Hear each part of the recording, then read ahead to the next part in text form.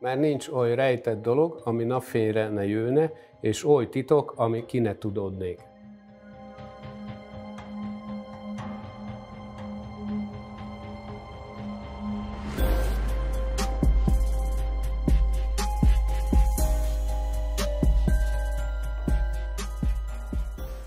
Gál Sándor rendőrőrvezetes vagyok, BRFK életvédelmi osztályának a vezetője. Fiatal koromban Gyömrön nevelkedtem, és szerves része voltam a Gyömrői Református Egyházközösségnek. A 17. keleti rendőrkapitányságon kezdtem a pályámat 1990 elején.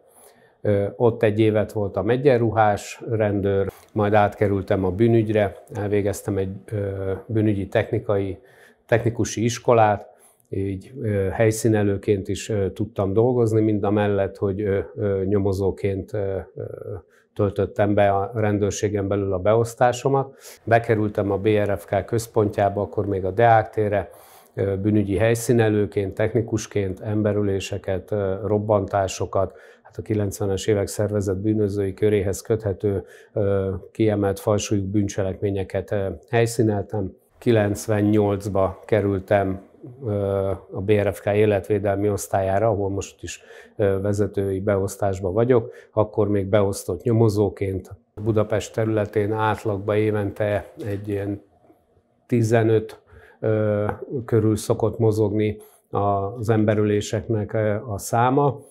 Hat éve kvázi nincs ismeretlenes emberülés Budapesten.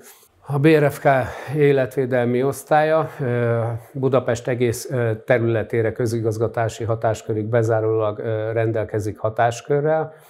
Alapjában véve a munkaidő beosztás az fél nyolctól tart négyig, pénteken fél kettőig, de minden napra van egy készenlétes csoport, hogyha a nap 24 órájában bármikor történik olyan ügy, ami a mi hatáskörünkbe tartozik, akkor arra tudjunk mozdulni. Amikor mi kiérünk a helyszínre, akkor nyilván felmérjük azt, hogy ott milyen bűncselekmény történhetett. A helyszín az beszél, csak tudni kell megszólítani. A tanukat behozzuk és elkezdjük itt kihallgatni őket az irodába, illetve kamerakutatásokat végzünk, és más egyéb információkat próbálunk összegyűjteni, és akkor ezek alapján azért többnyire kiszoktuk pörgetni, hogy ki az elkövető, és utána már csak az elfogására kell összpontosítani. Ez egy kihallgató helység, itt szoktuk kihallgatni a tanukat, illetve a gyanúsítottakat, ott szokott helyet foglalni a nyomozó, itt pedig a tanú gyanúsított, illetve mellette a kirendelt védő. Láthatjuk, hogy egy nagyon egyszerűen berendezett helyről beszélünk, a falakon nincsenek képek, feliratok, hogy ne terelje el a kihallgatott személy figyelmét egy számítógép van benne, illetve van kamera, amivel a, a kihallgatásokat tudjuk rögzíteni, ha olyan történetről van szó, illetve van még egy okmány szkenel, amit, amivel egy okmányokat tudjuk, tudjuk beszkenelni és a jegyzőkönyv mellé rögzíteni, biztosítani.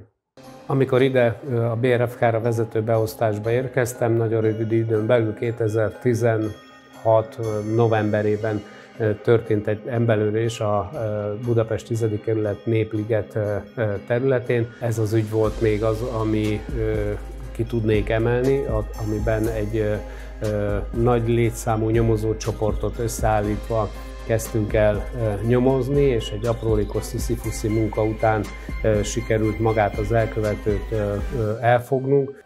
Az életes nyomozóknak a legnagyobb stresszt a, a folyamatos készellét jelenti, illetve hát a, az a fajta munka, amit végzünk olyan értelemben gondolván, hogy minél előbb meglegyen az elkövető.